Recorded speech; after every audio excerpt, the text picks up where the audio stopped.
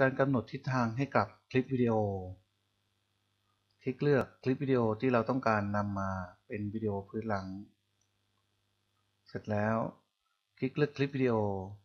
ที่ต้องการทำ overlay มาไว้ที่ Overlay Track ดับเบิลคลิกที่คลิปวิดีโอ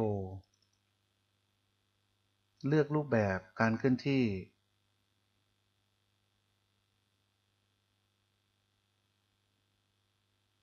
เลือกรูปแบบการเคลื่อนที่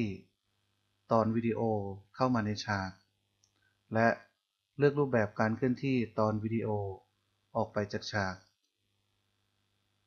คลิกปุ่ม Project คลิกปุ่ม Home คลิกปุ่ม Play เพื่อทดสอบการทำงานของคลิปวิดีโอ เพียงเท่านี้ เราก็จะได้คลิปวิดีโอที่มีลักษณะการเคลื่อนที่ เข้าและออกเข้ามาในฉากตามภาพ